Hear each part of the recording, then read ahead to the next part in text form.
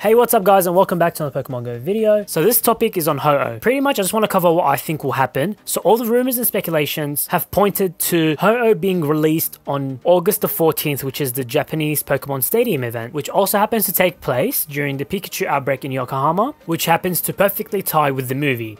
So the movie which originally retells Ash's story, for those that don't know, what happens is Ash falls down trying to protect Pikachu. Up he's looking into the sky and sees a majestic Ho-Oh flying up above.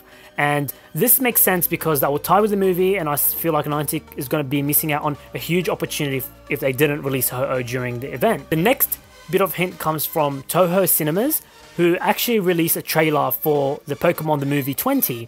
And in that, you see a Pikachu wearing Ash's hat, spinning a Pokestop, dropping some items, and there goes the shadow, again, reminiscing to the actual movie or the first few episodes where Ash sees Ho-Oh and the shadow is meant to be there because it's up there, get it? Okay, cool. Moving on to just one more thing, July 20th, Niantic publishes a legendary first year of Pokemon Go and the first legendary trailer featuring Zapdos, Moltres, Articuno, Lugia and Ho-Oh.